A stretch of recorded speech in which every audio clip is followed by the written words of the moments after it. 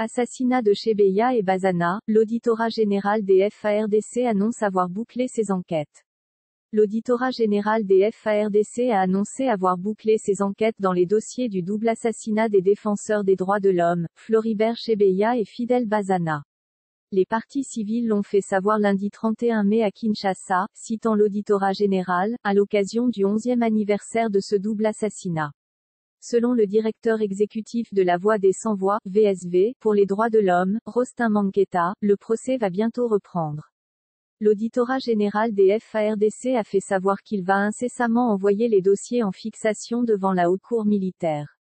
À cet effet, la VSV a remis au président de la République un mémorandum pour exiger la fin de l'impunité. Le procès avait abouti à quelques condamnations au premier degré. Mais, le débat a été relancé sur cet après que les policiers fugitifs, l'adjudant Ergil Ilunga et le brigadier en chef Alain Kayaï sont passés aux aveux. Sans compter aussi sur l'arrestation d'un autre policier, qui était en cavale au moment du procès, le major Paul Mouilamboué. L'ancien directeur exécutif de la Voix des Sans-Voix pour les droits de l'homme, Floribert Chebeya avait été retrouvé mort dans sa voiture dans une périphérie de Kinshasa le 1er juin 2010, au terme d'un rendez-vous manqué avec l'ancien inspecteur général de la police nationale congolaise, le général John Numbi.